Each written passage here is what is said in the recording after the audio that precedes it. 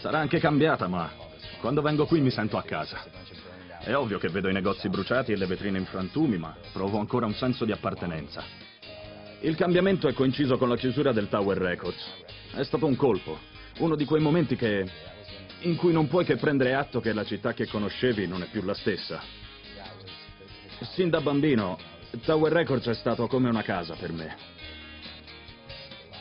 Ha rappresentato il negozio di dischi per eccellenza per più di una generazione ed era anche un ritrovo.